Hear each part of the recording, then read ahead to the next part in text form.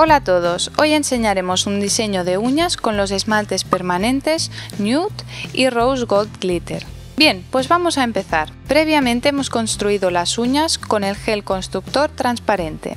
Aplicamos una capa de primer Ultra Bond y dejamos secar al aire. Aplicamos una capa fina de esmalte permanente nude en todas las uñas excepto en el dedo anular. Secamos dos minutos en la lámpara. Aplicamos una segunda capa de color nude en todas las uñas y volvemos a secar dos minutos en la lámpara. Ahora aplicaremos el esmalte permanente Rose Gold Glitter, que es una mezcla preciosa de purpurina dorada y rosa. Aplicaremos dos capas en el dedo anular, secando cada capa dos minutos en la lámpara.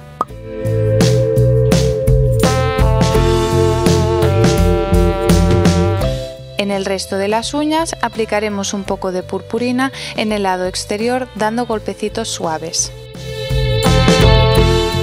Finalmente, para dar brillo, aplicaremos el base gloss sellando bien las puntas. Secamos dos minutos en la lámpara.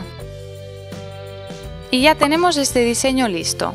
Esperamos que te haya gustado este vídeo y te invitamos a suscribirte a nuestro canal para ver otros vídeos de decoración de uñas. Un saludo y hasta pronto.